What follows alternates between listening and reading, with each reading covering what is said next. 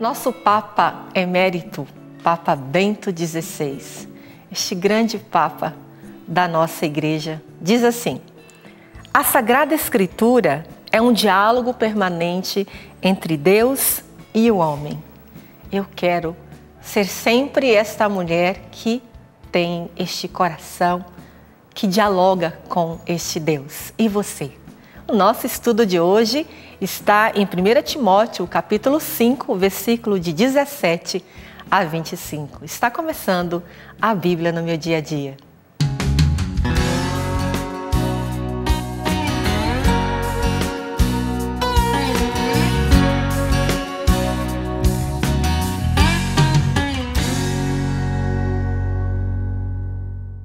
Meus queridos amigos, a palavra de Deus é esta linda carta de amor, escrita para mim e para você. Como é bom, como é importante dar valor e significado a esta palavra santa de Deus. Antes de ler, vamos rezar pedindo a força, a intercessão de Nossa Senhora sobre nós. Vamos rezar?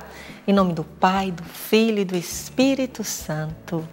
Amém pedimos a intercessão da nossa querida mãe, nossa mãezinha do céu, que interceda ao Pai por nós. Ave Maria, cheia de graça, o Senhor é convosco. Bendita sois vós entre as mulheres, e bendito é o fruto do vosso ventre, Jesus. Santa Maria, Mãe de Deus, rogai por nós, pecadores, agora e na hora de nossa morte. Amém. Vamos ler juntos? Versículo 17, 1 Timóteo 5.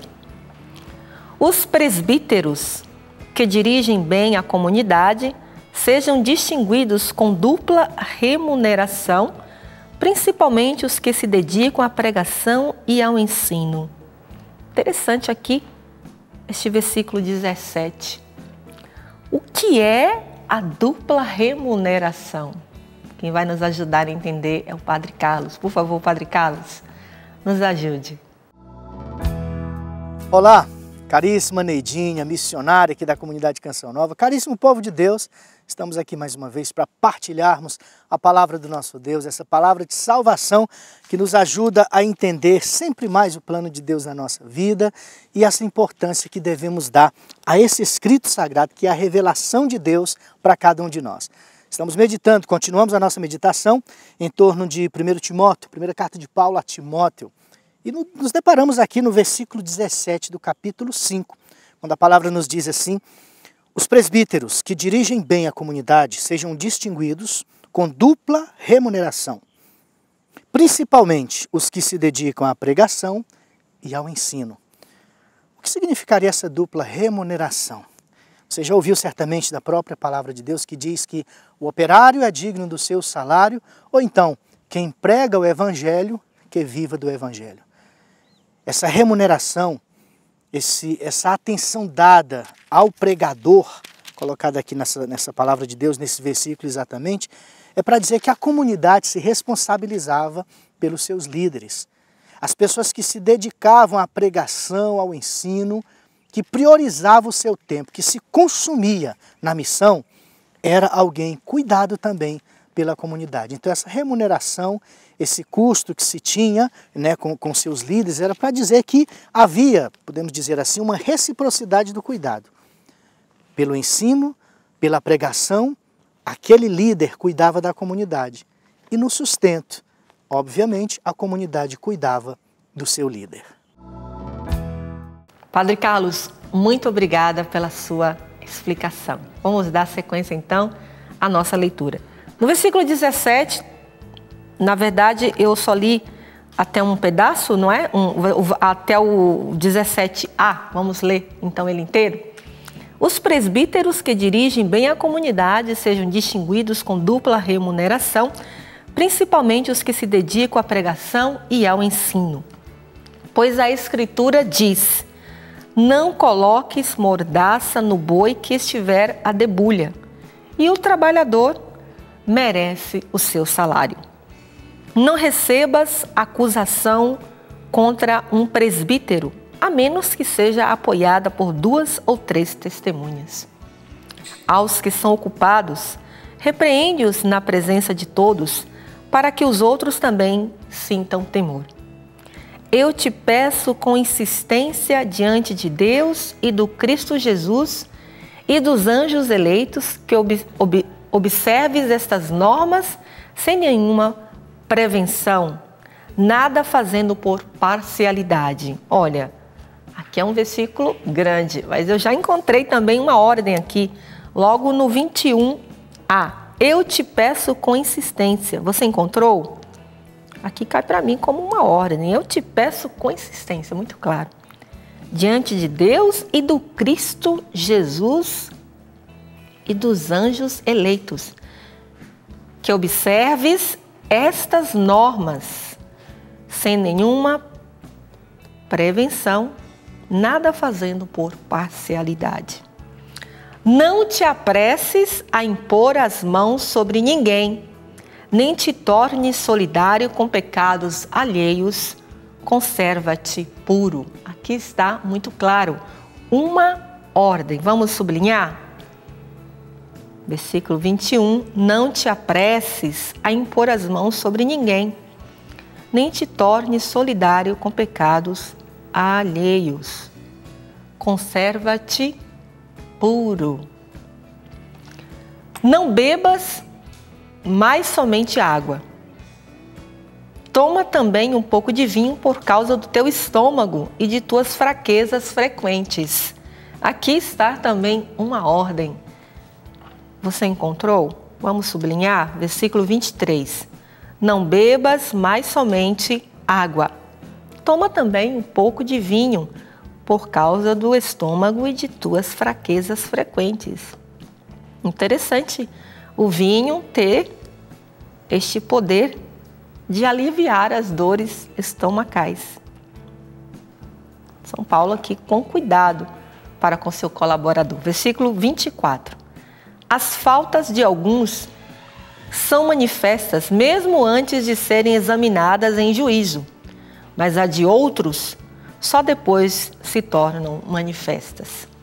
Assim também as obras Assim também as boas obras são manifestas e aquelas que ainda não são não podem ficar escondidas. Que palavra preciosa, que palavra rica é estas orientações de São Paulo. É interessante que esse versículo 17 até o 25 são orientações que São Paulo vai dando aos presbíteros.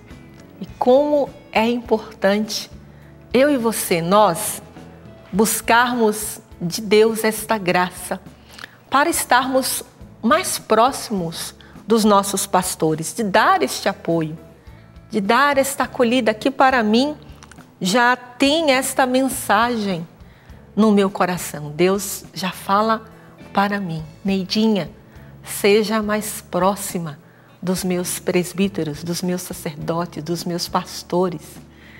Seja aquela que também atende às suas necessidades, seja na oração e seja também em outras necessidades que os nossos presbíteros precisam, necessitam.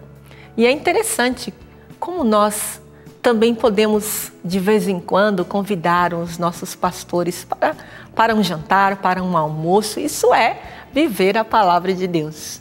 Você com certeza tem o seu pároco aí perto, próximo de você. Faça essa experiência, como a palavra de Deus está nos incentivando. Jesus, dai-me um coração generoso. Eu quero não só cuidar dos meus queridos pastores. Aqui na Canção Nova, graças a Deus, nós temos muitas oportunidades de amar os nossos sacerdotes e tenho certeza que você também tem aí no seu convívio paroquial. Peça a Jesus, eu quero Espírito Santo, amar os meus pastores, o meu diretor espiritual, o meu padre daqui da minha comunidade, mas também o meu bispo.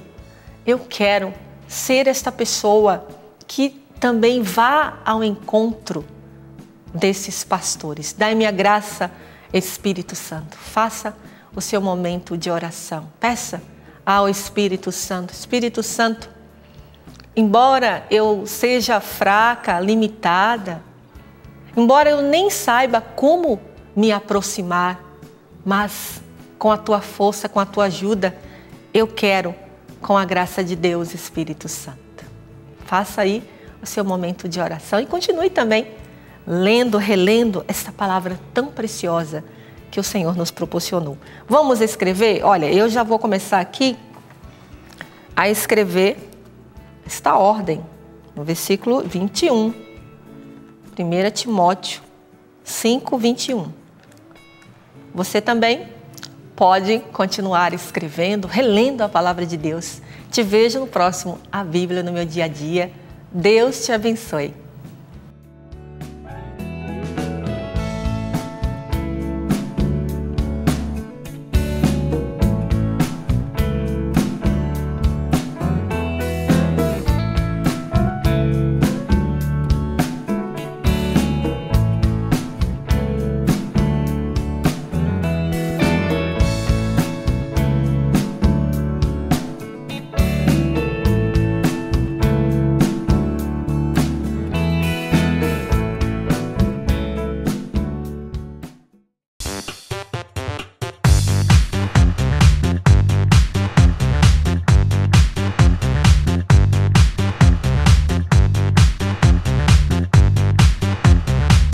novaplay.com. Assine já!